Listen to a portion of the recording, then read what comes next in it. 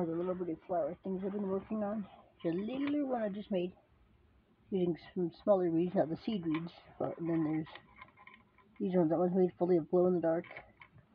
And this one does not have any glow in the dark, and this one has the center of it being glow in the dark.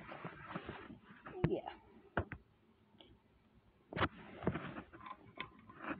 Yeah, I'm hoping to make more of those uh, bracelets. Anyways, yeah.